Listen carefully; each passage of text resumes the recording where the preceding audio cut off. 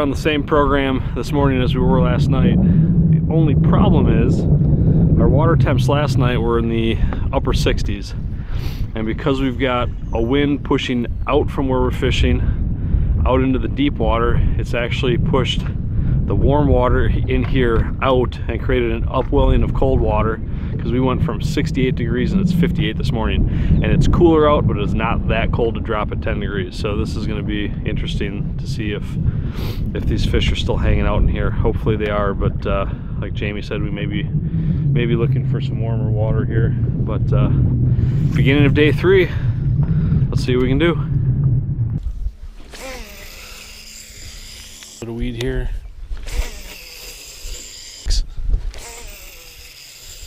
Which the water definitely stabilized. In the up into the upper 60s. Yeah, she's right where she should be now. Yeah, Holding the same at 69.4, so it's actually creeped up a little bit yeah. Okay, so what's the excuse of not seeing anything? No. We've literally we fished a mile of shoreline. Yeah, I just checked it. A miracle mile, huh? Yeah. So we fished a mile of shoreline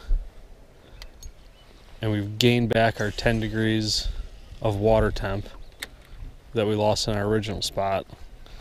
We're up 12 And degrees. yeah, yeah. No, it's I mean we're back up to 68.7 from 57 from that that upwelling in the corner there and I don't know. No fish. Hardly even a pike. Muskies are dumb sometimes.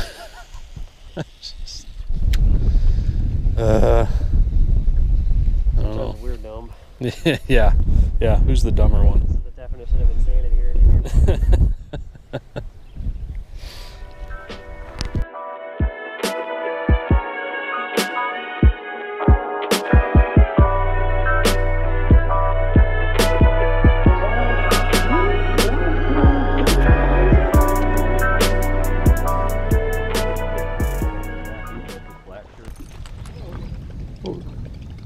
What you got there, Jay? Jump like a musky would. Wow.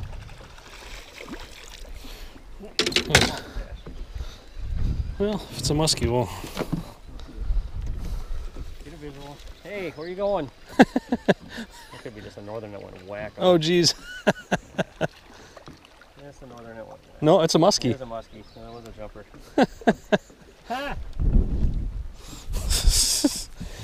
Oh, look, Jamie caught a baby muskie.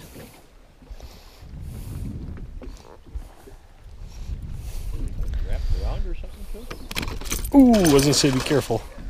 I just threw her. This is for my safety.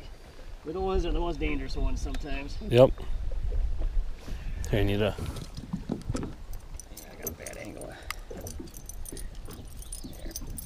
There we go. Let him go. Oh, Look at that. well, they gotta be, gotta be small ones before they're big ones. So. Is that just the on it, or is been wrapped in line or something? Uh, Weird. I don't know. Sometimes they get a discoloration like that. There he goes. The jump is what gave it away. I was like, I never seen a northern or a muskie. That's a, a muskie's a jumper. Yeah. Northern's not as much. Well, one muskie. I guess we'll take it. Because I go on the board, I didn't measure it. The top water on that one. You think that one even went 25? No, no, I don't think so. Probably close. 23. I'll give it 23. Yeah.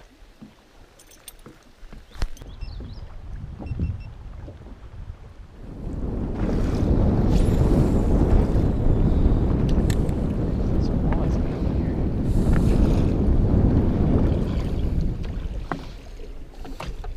Fish? Yeah. Get ready just in case.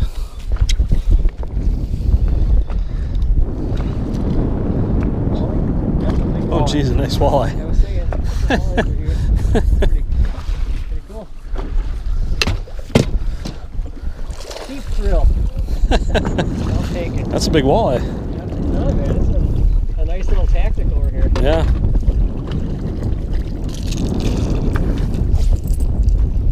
jeez. Easy, uh, it's a slaughter. Oh yeah, that's a Tags are good. yeah. Pliers. Right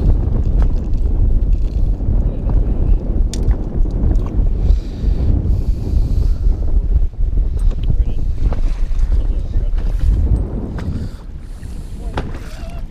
What is he? 23 and, 23 and 3 quarters. Yeah. Nice. Very on walleye. Well, the muskies are dumb, but I guess at least we caught a walleye.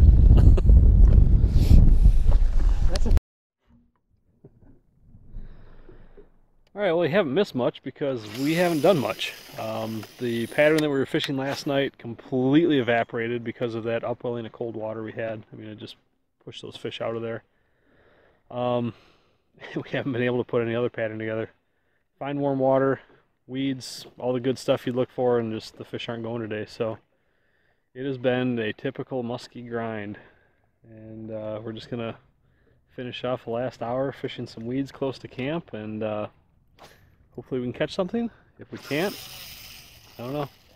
There's always the uh, cold Canadian beer and some food waiting back for us at the camp. So that's what's the plan is.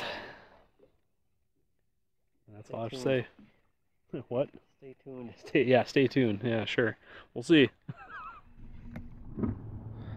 All right, we're headed in. That's a wrap. Day three was a bust, big time for us. Nate and Matt got a 48, a 45, and they saw a bunch of fish, but it was where we'd seen fish before, and it was on, was it Moonrise, Jay? Yes. Moonrise. So there you go. I mean, the weather wasn't getting them to hit, so the moon got them to hit. Um, typical musky grind, and just goes to show you, even if you're in Canada, doesn't mean you're gonna catch fish. You still got to work for these fish, and that's what we plan to do tomorrow. Day three out. See you later.